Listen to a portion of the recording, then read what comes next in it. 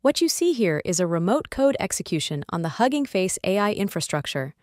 Wiz researchers, working in collaboration with Hugging Face, were able to upload a malicious AI model to the platform and use it to obtain a foothold in Hugging Face's internal environment, potentially allowing them to perform lateral movement.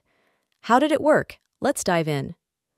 The first step of the attack was to upload a malicious AI model to the Hugging Face platform. The model was crafted to act as an ordinary model with hidden backdoor functionality. By interacting with the model using the Hugging Face Inference API, the backdoored AI model is executed and activates the backdoor on the Hugging Face AI infrastructure. Wiz researchers use the backdoor to spawn a reverse shell to the internal environment. Then they escaped the Linux container and obtained high privileges in the Hugging Face internal AI infrastructure.